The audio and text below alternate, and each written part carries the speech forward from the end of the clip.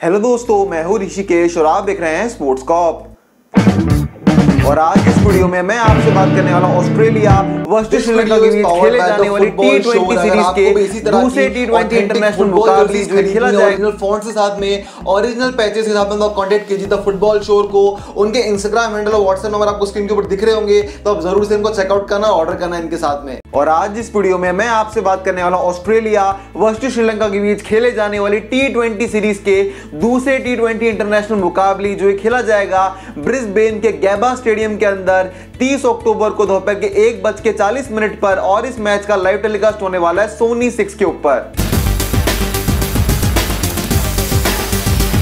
Brisbane की pitch को Australia की सबसे तेज पिच माना जाता है, पर यहाँ पे बॉल हवा में ट्रेवल ही बहुत अच्छे से करते हैं। यहाँ पे बैटिंग करना थोड़ा बहुत आसान समझने में आता है, और ये एक नाइट मैच होने वाला है तो सेकंड इनिंग्स के अंदर ड्यू फैक्टर भी बहुत ज़्यादा बीच में आ सकता है। तो आप टॉस जीते पहले बॉलिंग करने का फैसला करना चाहोगे, क्योंकि सेकंड इनिंग्स में बॉलिंग करना बहुत मुश्किल भी हो जाएगा, और बैटिंग करना भी काफ़ी आसान हो जाएगा। सबसे पहले मैं बात करता हूँ होम टीम ऑस्ट्रेलिया के बारे में, जो कि पहले मैच के अंदर एक बहुत ही आसानी जीत हासिल करते हुए आ रही है। उस मैच के अंदर एक परफेक्ट परफॉर्मेंस था ऑस्ट्रेलिया की तरफ़ से पिछले मैच में डेविड वार्नर ने एक ज़बरदस्त सेंचुरी मारी। उनकी पहली टी ट्वेंटी इंटरनेशनल सेंचुरी थी और इस तरह से उन्होंने फॉर्म में आने के भी संकेत दे दिए। उन्होंने मैच के साथ 200 रन की पार्टनरशिप करी।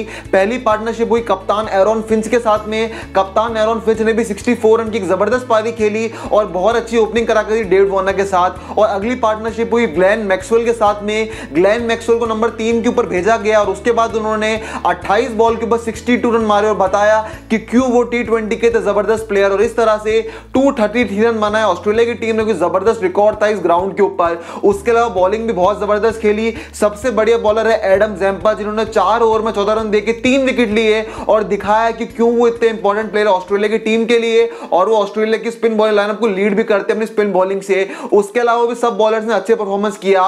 मिचेल स्टार्क ने पिछले मैच में बहुत ज़बरदस्त खेला, पर इस मैच के अंदर मिचेल स्टार्क फिट नहीं होने वाले हैं। मिचेल स्टार्क फैमिली रीजन के कारण इस मैच को नहीं खेलेंगे तो उनकी जगह के ऊपर बिली स्टैनले को टीम में जगह मिल सकती है। बिली स्टैनले काफ़ी लंबे पेसर हैं, काफ़ी अच्छी यॉर्कर्स मारते हैं, बहुत अच्छे बॉलर तो बिली स्टैनले को इस मैच में जगह मिल सकती है। उसके अलावा टीम बहुत ज़बरदस्त खेली। बैटिंग में भी तीन जनों ने बहुत अच्छा प्रदर्शन किया और बॉलिंग बहुत अच्छे से तो मुझे लगता नहीं है कि टीम को चेंज करना चाहेगी अपनी स्क्वाड के अंदर। बिली स्टैनले टीम में आएँगे और वही टीम होगी जो पिछले मैच में खेली थी तो ओपनिंग करेंगे आपके लिए। एरॉन फिंच और डेविड वॉर्नर नंबर तीन पे स्टीव स्मिथ नंबर चार पे ग्लैन मैक्सवेल नंबर पाँच पे एस्टन टर्नर नंबर छह के ऊपर एलेक्स कैरी नंबर सात के ऊपर एस्टन एगार फिर Pat Cummins Adam Zampa Kane Richardson और बिली स्टैनली तो ये टीम होने वाली ऑस्ट्रेलिया की, और ऑस्ट्रेलिया इस मैच जीत के सीरीज़ को जीतने की पूरी पूरी कोशिश करना चाहेगा। अब मैं बात करता हूँ श्रीलंका की टीम के बारे में, जो कि बिल्कुल भी अच्छा नहीं खेल पाई पिछले मैच के अंदर। उनकी बैटिंग मिलकर सौ रन भी नहीं बना पाए। तुमको पता लगता है कि कितना बुरा खेल रही श्रीलंका की टीम पिछले मैच के अंदर। हालाँकि लोग उनसे उम्मीद बहुत कर रहे थे पाकिस्तान वाली सीरीज़ के बाद,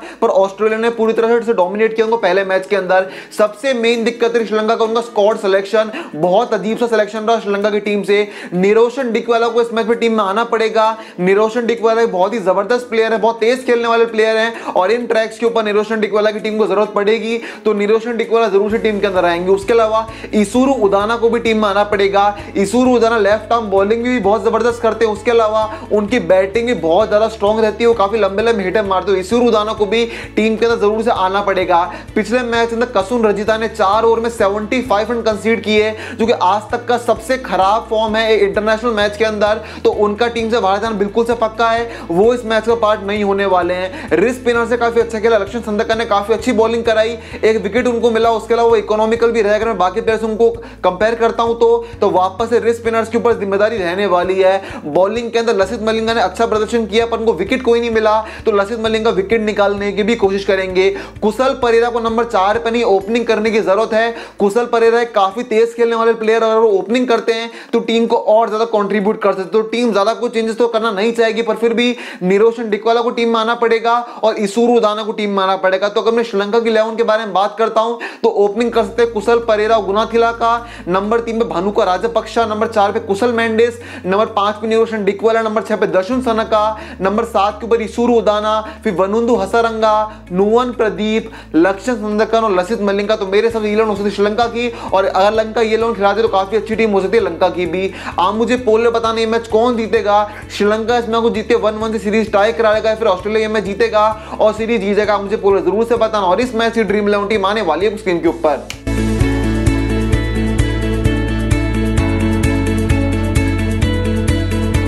अगर मेरे वर्डिट के बारे में बात करें तो ऑब्वियसली बात है ऑस्ट्रेलिया का वापस से पलटा भारी रहने वाला है। ऑस्ट्रेलिया की बैटिंग बहुत ज़्यादा स्ट्रॉन्ग लग रही है और श्रीलंका की टीम में ना बैटिंग अच्छी करी ना बॉलिंग अच्छी करी। हालाँकि अगर श्रीलंका थोड़ा कंपीट करने की कोशिश करे तो अलग बात है पर फिर भी पलटा तो ऑस्ट्रेलिया का भारी रहने वाला है इस मैच में तो, मुझे उम्मीद है ये छोटी सी वीडियो को पसंद ज़रूर से आई होगी। अगर वीडियो अच्छी लगी तो वीडियो को लाइक ज़रूर से करना सब्सक्राइब करना चैनल को इस तरह वीडियो देखने के लिए। हमारी वीडियो का बहुत बहुत थैंक यू मुलाकात होगी आप नेक्स्ट वीडियो के अंदर। याद रखिएगा स्पोर्ट्स नहीं तो कुछ नहीं।